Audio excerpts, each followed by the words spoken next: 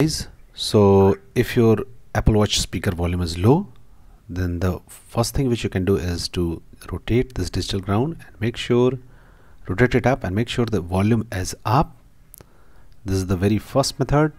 The second method is just tap on this digital crown and just go to settings. Okay? Once you will go to settings you have to find sound and haptics okay just find sound and haptics. Here it is.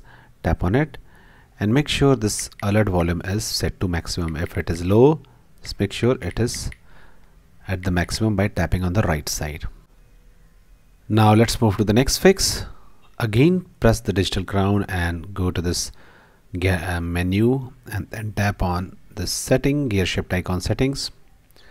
And this time go to accessibility tap on it and scroll down.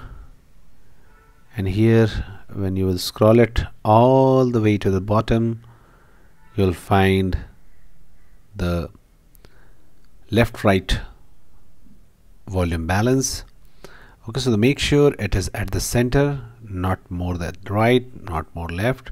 Make sure these bars are at the center and then check whether this issue gets resolved or not. If this is still not working you can try turning on mono audio and then see if this works or not. Otherwise turn it off. Thanks for watching. Please do like the video